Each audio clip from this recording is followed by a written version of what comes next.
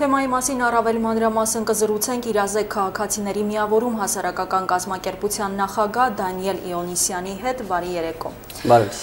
Ձեր ուսումնասիրություններից ելնելով ինչպիսին է հանրային պահանջը ռուսերենի նկատմամբ։ Տեսեք, իրականում այս կոնտեքստում պետք է տարանջատել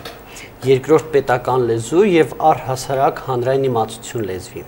Թե մենք ասում ենք, որ դա երկրորդ պետական լեզու է, դա նշանակում է, որ քաղաքացիները կարող են պետական մարմիններին դիմումներ գրել ռուսերեն, բոլոր նորմատիվ իրավական ակտերը, որ ընդունվում են, պետք է թարգմանվեն ռուսերեն եւ այլն, հա։ Սրա կարիքը ըստ էության իսպար բացակայում է, որովհետև Հայաստանի բնակչության 98.5%-ի մայրենի լեզուն հայերենն է, երկրորդ հորիզոնականում շատ փոքր թիվ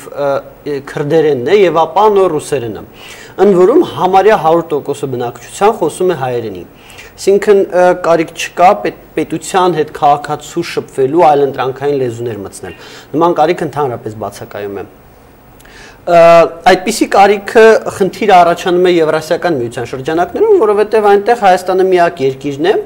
հա 5 անդամ պետություններից, որտեղ ռուսերենը որևիցե կարգավիճակ չունի բայց բայց դա արդեն այլ այլ խնդիր է։ Ինչ վերաբերվում է հանրության իմացությանը, այո, ինչքան մարդ ինչքան լեզու գիտի, այնքան մարդ է, հա, հայտնի ասացված կա, բայց արդյոք ռուսերենն է այն կարևորագույն լեզուն, որը մենք պետք է հայրենից հետո սովորենք։ Այստեղ համոզմունք չկա։ Եթե մենք նայենք թե աշխարհում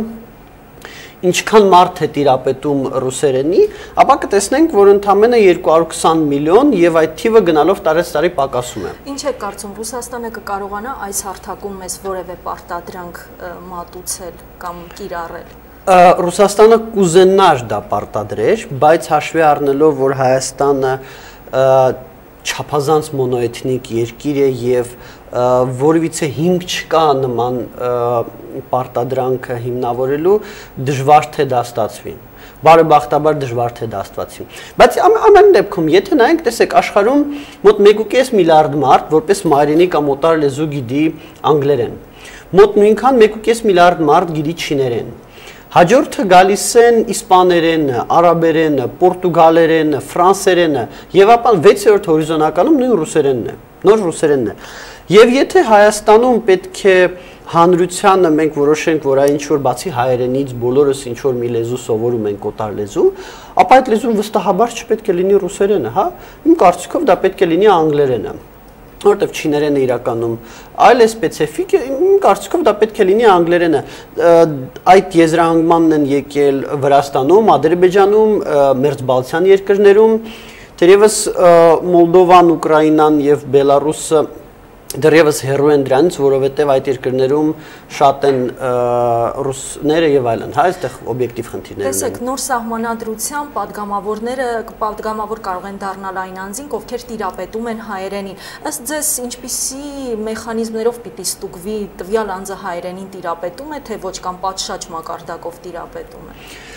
Տեսեք, ընտրական օրենսգրքով սահմանված է, որ այդ հայերենին տիրապետելը ստուգվելու է ատեստատով Այսինքն, եթե մարդ ունի ընդամենը ատեստատ, որ ավարտել է հայկական դպրոց,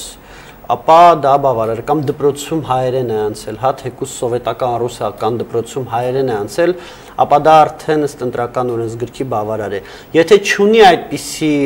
ատեստատ, ասենք սփյուռքը հայ է, որը եկել է Հայաստան։ Այդ դեպքում ինչ որ քննություններ են սահմանված, բայց այդպիսի ատեստատ թերևս ունեն բոլորը